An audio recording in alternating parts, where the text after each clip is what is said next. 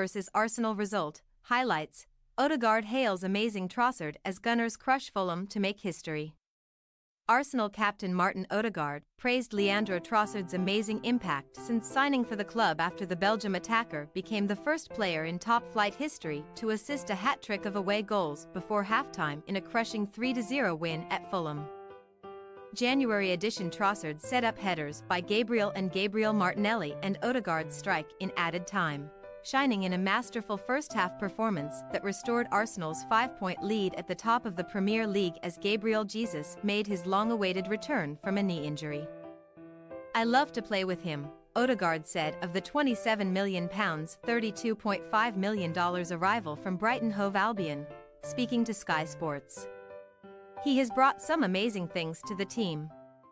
He's always looking to find the right pass. I kept my composure and put my shot in the corner. We're really happy to have him in the team. Lineups Fulham starting 11 4 2 3 1, Leno GK, Tete, Adarabioyo, Ream. Robinson, Reed, Lukic, De Cordova-Reid, Pereira, Solomon, Mitrovic. Fulham subs, Rodak GK, Wickens, Wilson, James, Vinicius, Diop, Francois, Harris, Robinson. Arsenal starting 11-4-3-3, Ramsdale GK, White. Saliba, Gabriel, Zinchenko, Odegaard, Partey, Xhaka, Saka, Trossard, Martinelli. Arsenal subs, Turner GK, Tierney, Jesus, Smith Rowe, Holding, Tomiyasu, Jorginho, Vieira. Nelson. The victory means Arsenal are the first Premier League team ever to win five successive away London derbies while keeping clean sheets and restores the cushion they began the weekend with above Manchester City. Antonee Robinson's own goal was ruled out because Martinelli was offside in an early warning for Fulham, who failed to have a shot on target during the first period but produced an improved second-half showing and hit the crossbar through Aleksandar Mitrovic's header. Gabriel nodded the visitors ahead from the latest of a spate of Trossard corners after 21 minutes, with Martinelli afforded ample space inside the penalty area to follow suit from a cross from the same left flank five minutes later. Odegaard added the third by capitalizing on slack marking from Fulham, who fell to a second successive defeat and remain eighth in the table. Capital gains for Arsenal.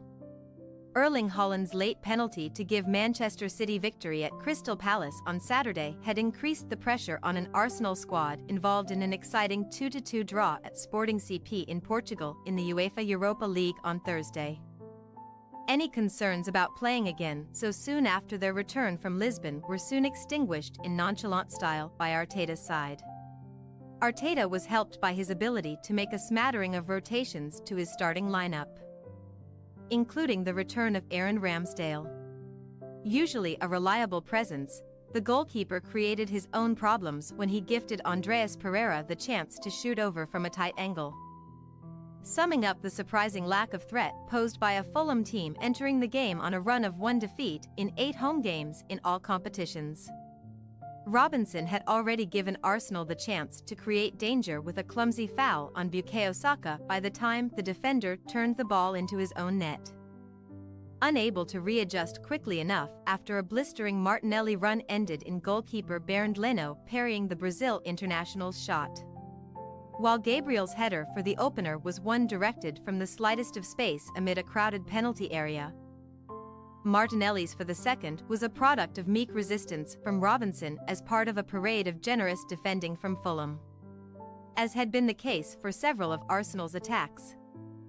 Odegaard looked like he was taking part in a training ground exercise when he collected Trossard's pass, toyed with the Fulham players ahead of him and picked his spot in the corner of Leno's net to all but put the result beyond doubt. Arsenal have won those five London away games by an aggregate scoreline of 11 0. There were reminders of their 3 0 stroll at Brentford in September here, when two goals inside the first 29 minutes served to stop any momentum their potentially dangerous opponents wanted to build. Jesus ends injury nightmare. Arsenal fans so often had cause to celebrate their three Gabriels during their excellent start to the season with one of Jesus' five goals coming in that win at Brentford.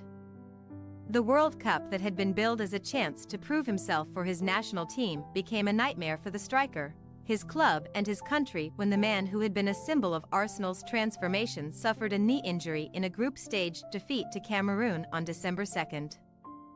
There were obvious concerns from those supporters that Arsenal would struggle when the Premier League returned without the player Arteta signed from City for £45 million $55 million during the close season. Those fears proved unfounded and it will now be their rivals worrying about the addition of Jesus to a squad who have netted in 11 of their 13 league games since the break, scoring at least three times in four of their last five matches in the division. Two of Arsenal's three defeats in 2023 have come against City, with a Saka penalty their only goal in those games. By the time they travel to City on April 26 for a game that looks increasingly like it could be crucial in the title race. Jesus will be back in contention to start and, Arsenal will hope, inflict more damage on the reigning champions than they did during those meetings. It's a massive boost, Odegaard told Sky when he was asked about Jesus' 77th minute return in place of Trossard. We know what he's going to give to the team. We're very excited to have him back, very, very happy. The Sporting News followed the match live and provided live score updates and commentary. Thanks for your watching. Don't forget to click the subscribed button and hit the bell icon for more.